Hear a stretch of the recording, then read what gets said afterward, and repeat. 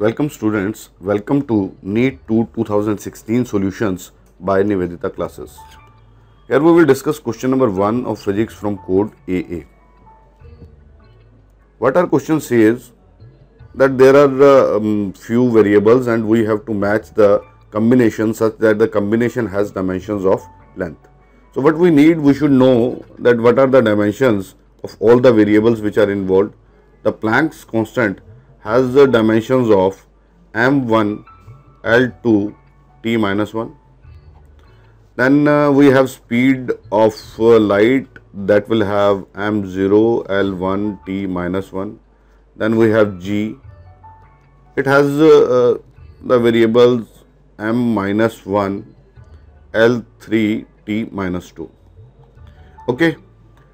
Now with combination what we want, we want that our result should be L raised to power 1. So we have to actually eliminate mass and time. So to eliminate mass, the C does not have any factor of mass, H has 1 and G has minus 1. What does it mean that we have to use H multiplied by G in our answer so that mass gets eliminated.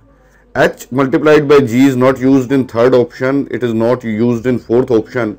So our answer is either 1 or 2. Okay. So Hg. So what will be the dimensions of Hg? As we can see the m will become 0, the L will be 5 and we will have T which is equal to minus 3. Okay. Now what we have to do? We have to eliminate uh, T also.